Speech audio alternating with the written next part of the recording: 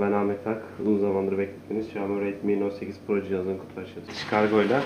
Kargoya sabah gittik saat 8'de. Yalnız kargoyu kaybetmişler. Arkadaşlarla beraber saat 9.30'a kadar aldık. Tabii kontrol için kutuyu açtım. Trendyol'dan aldım arkadaşlar 1994 liraya. Bu arada 1994 doğumluyum. Evet. Black Friday, Kara Cuma, Muhteşem Cuma indirimleriyle aldık. Evet. Evet arkadaşlar. Xiaomi Türkiye garantili. Öncelikle bu telefonu almamda vesile olan arkadaşlarım Aygün XX nickname ile Aygün Özdemir, Volkan Kral nickname ile Volkan arkadaşımıza teşekkürler. Volkan Gündüz. Ve bu videoyu çekmemde yardımcı olan Halil, Halil İpek arkadaşımıza teşekkür ediyoruz. Şimdi kutuyu açalım arkadaşlar. Hadi bize şey lazım. Maket. İşte o. Dur. Dur. dur zarar verir düz sana bir. Maket bıçağıyla nasıl açayım ben? Haydi bunu kıyamam.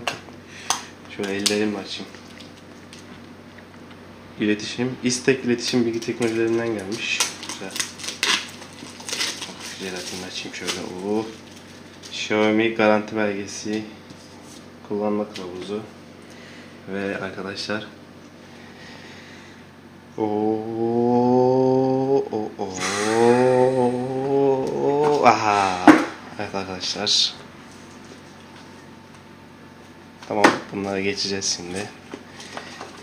Ee, telefonumuz mavi renkte. Sonradan geldi Türkiye'ye. İlk çıktığında mavi renk yoktu. Tabi telefonun detaylı incelemesine geçeceğiz az sonra. Kutu şeritine bakayım. Bir tane şarj aleti çıkıyor. Kaç amper acaba? 5 volt, 3 amper, 2, 12 volt, 1.5 amper şeklinde. Tip C konnektör de geliyor arkadaşlar. Hemen şunları açayım.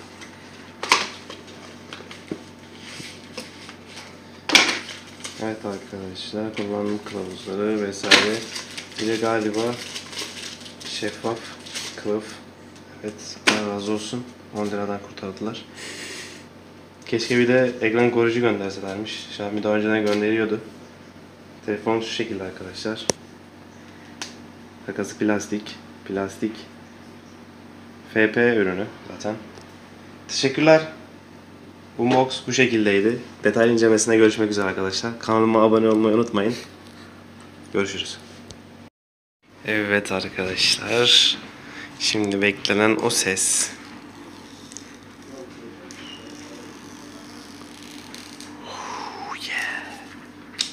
Ve telefonun ilk açılışı.